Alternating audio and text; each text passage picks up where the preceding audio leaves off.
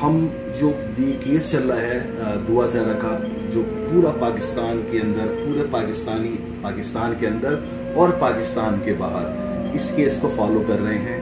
और ये केस एक वाहिद ऐसा केस है जो हर बाप बड़ी गहराई से इस केस पे नज़र रखा हुआ है कि इस केस का होना क्या है। सबको तो पता है कि हुआ क्या है क्या नहीं है। तो अब यही आ, हम साउथ भाई हैं ये कनाडा में होते हैं टोरंटो में। माशाल्लाह वेल बिजनेसमैन है, बहुत बड़ी माशाल्लाह से यहाँ पे इनकी फ्रेंचाइजे हैं और ये इस केस को बड़ी गहरी नज़र से देख रहे हैं और बहुत अंदर से इनको जो है इस केस के ऊपर इनको पता है कि हुआ क्या है। अब ये वेट कर रहे हैं, अब ये साउथ में से पूछते हैं कि इनके क्या इसके अंदर ओपिनियन है और क्या होने वाला है और क्या हुआ है और क्या हो रहा है।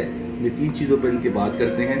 भाई वालेकुम सबसे पहले तो मैं आपको बहुत शुक्रिया देता हूँ कि आपने वक्त निकाला और ये जो केस हुआ है दुआ जहरा का और आपको क्या लगता है कि ये क्या हो रहा है क्यों हो रहा है और क्या होने वाला है? एक तरीके से देखा जाए तो ये बहुत बड़ा जुल्म है हम्म। कि बच्ची को जिस तरह किडनैप किया गया और फिर उसको छुपाए रखा और उसको माँ बाप के सामने आने नहीं दिया जा रहा है। यानी कि जुल्म की इंतहा है। इंतहा सेकंड हमारे जुडिशियल सिस्टम का फेलियर है। अच्छा। कि वो तो चल रहा है ना वो किसी चीज़ को भी चल रहे हैं ना सारे किसी चीज़ को किसी चीज़ शवाहिद को सामने सही नहीं ला रहे वो।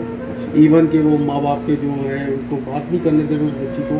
डायरेक्टली इवन के he is standing three four feet away from daughter he can not talk तो मतलब एक चीज़ गलत है और बहुत गलत है। और एज ए बाप होने के नाते मैं तो ये चाहूँगा कि किसी भी बाप के साथ इतना बड़ा जुर्म नहीं होना चाहिए। और इस बच्ची को बाजियाब कराया जाए जो भी ये माफिया जितनी बड़ी भी माफिया और हम इसके पीछे मेरा, मेरा सवाल आपसे ये है कि आपको क्या लगता है कि ये बच्ची अपनी मर्ज़ी से भाग कर गई है? लव मैरिज है। क्या इस बच्ची को किडनैप करा गया है? क्या आ, आपको क्या आपको क्या लगता है क्या हो क्या रहा है? व्हाट इज़ गोइंग ऑन क्या हो क्या रहा है? फिर इसके बाद जिसने निकाह करा था वो मंजिल यहाँ पे नहीं है। एज इसकी गलत जा रही है। अब बच्ची जो है वो उसकी वीडियो ऐसी आ रही है कि वो अपनी मर्ज़ी से गई है। अब यानी कि क्या आपको क्या लगता है इसमें आप बताएँ। इसमें साफ़ नज़र आ रहा है कि ना बच्ची की कोई मर्ज़ी है ना कोई रजा है उसकी। अच्छा। और सीधा सीधा बच्ची को जिस तरह लाते हैं ये लोग उसका गेटअप या मेकअप करके उसको एजेड दिखाना चाहते हैं जो कि वो नहीं है। क्योंकि जहाँ तक मैंने सुना इस केस में उस लड़की की उम्र चौदह से चौदह साल से ज़्यादा नहीं है। लगती भी इतनी है। लगती भी इतनी की लेकिन उसको जो गेटअप करके उसको लाते हैं और दूसरी चीज़ सबसे बड़ी जो खराबी है वो ये है कि वो जो लड़का जो भी इसके साथ बैठाते हैं ही सिटिंग लाइक ए टामी और मतलब वो टोटली फेक लगता है सारा इंटरव्यू जो भी दिखाते हैं या बताते हैं या जैसे पुलिस वैन में आ रहा है पुलिस वैन में जा रही है जो भी दिखाते हैं।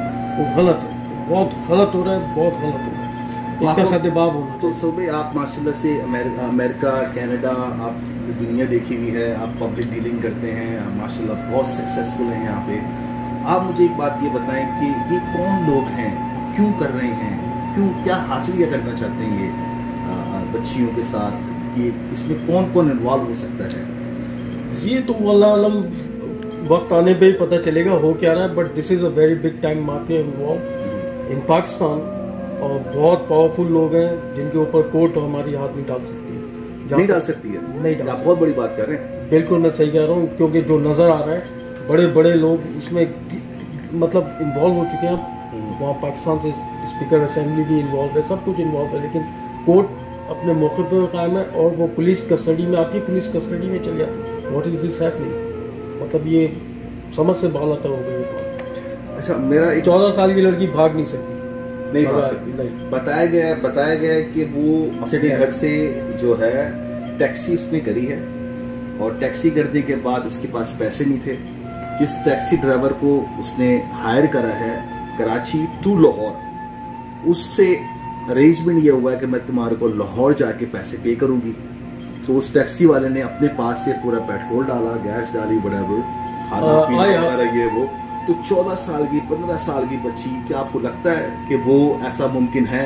या कोई कराची में टैक्सी ड्राइवर इतना दिल दिलदार है कि वो अपने पास सारे इन्वेस्टमेंट करे और उसको पता भी नहीं है कि मुझे वहाँ पे जाके मिलना है नहीं मिलना? क्या स्टोरी में थोड़ी आपको लगता है कि कोई सच्चाई नज़र आ रही है?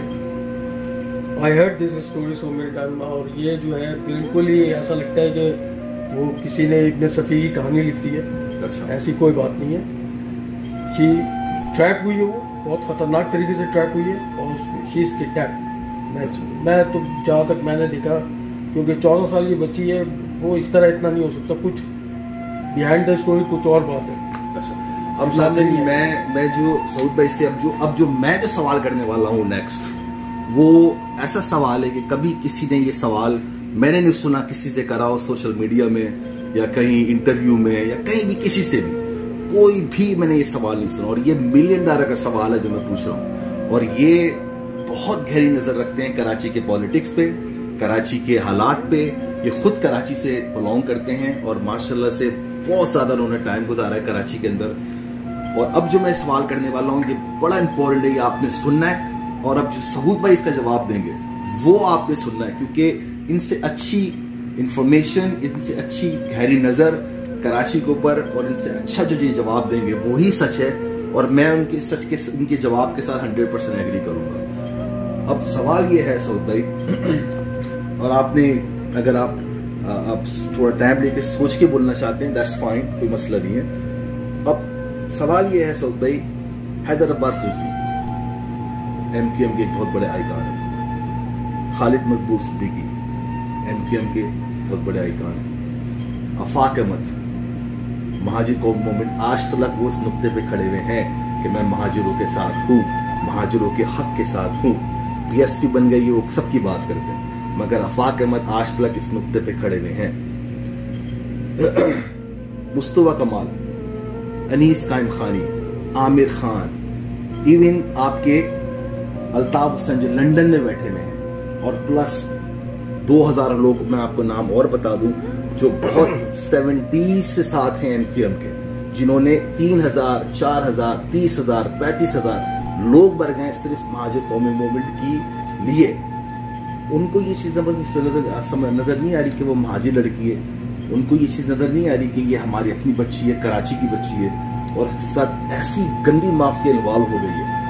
आज तक मैंने कभी भी किसी बंदे का कोई इंटरव्यू नहीं सुना, कि कोई इस टॉपिक पे बात नहीं करे।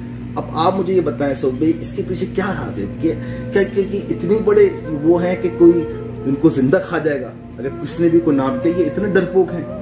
या इनको ये ये सिर्फ़ बातें करते हैं कि हमें महाजिरों से मोहब्बत है या महाजिरों के हकूक के साथ खड़े हुए आपको क्या लगता है क्यों क्यों क्यों नहीं बात कर रही लोग? क्यों नहीं इन्वॉल्व हो रहे इस केस में? इंक्लूडिंग अल्ताफ हुसैन मैं आपकी सारी बातों को सिर्फ़ एक जवाब दूँगा जी जी। कि ये सुनना है आप लोगों ने ये बहुत इंपॉर्टेंट जवाब है। सबको बोलना चाहिए। बोलना चाहिए। और जो नहीं बोल रहे हैं गलत कर। गलत कर। अपने बेनिफिट देख रहे हैं। बेनिफिट का नहीं कहूँगा लेकिन गलत कर। रहे तो आपको लगता है कि फिर इसका मकसद वो अपने दिल की गहराइयों से मैं- महाजिरों के साथ उनके मैं- हकूक के मैं- साथ खड़े होने वाले लोग नहीं हैं। एज ए नेशन के अलावा मैं बात करूँगा as a Pakistani as a human as a human being आपको कहना चाहिए।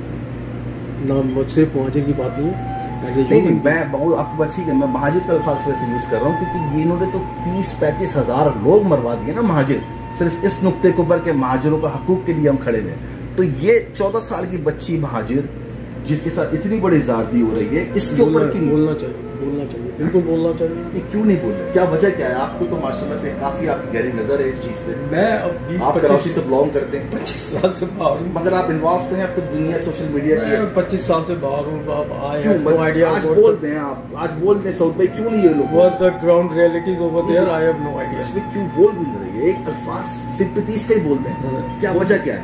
आई have no idea लेकिन बोलना चाहिए। बोलना चाहिए। प्रेशर बिल्कुल नहीं प्रेशर का तो नहीं कहूँगा मैं। बोलना डर है?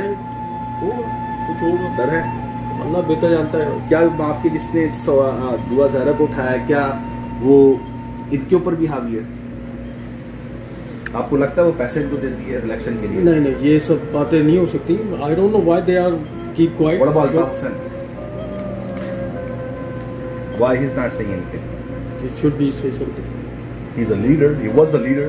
Should Once we upon a time for Mahajir Qawmi movement. should be say something should be say everybody in the MQM or part of the MQM should say everything Everything. yes नाजरीन देखें एक मिसाल है कि जब तक बेवकूफ़ ज़िंदा हैं अकबंद पैसा बनाते रहेंगे आज ये टाइम वो आ गया है कि तीस साल तीस हज़ार, चालीस हज़ार लोग महाजिर कौल मूवमेंट के मरवाने के बाद और ये दिखा के कि हम महाजिरों तुम्हारे लिए खड़े हुए हैं। और आज तेरह चौदह साल की बच्ची जिसको एक प्रोस्टिट्यूट बनाने के लिए सोच रहे हैं और उसके लिए उन्होंने एक अल्फाज भी उठा रहे हैं। सारे सारे जितने भी धड़े इंक्लूडिंग अल्ताफ हुसैन।